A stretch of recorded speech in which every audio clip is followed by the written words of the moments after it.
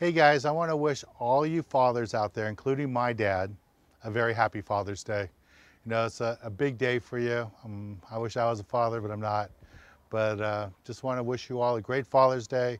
Whatever you're doing, if you're going to go on the water today, if you're going to hang out and barbecue with your family, just want to wish you all a great Father's Day. Um, I know my dad's going to have a good one. I'm going to hang out with him. So on behalf of everybody here at Sport Fishing, happy Father's Day, everybody.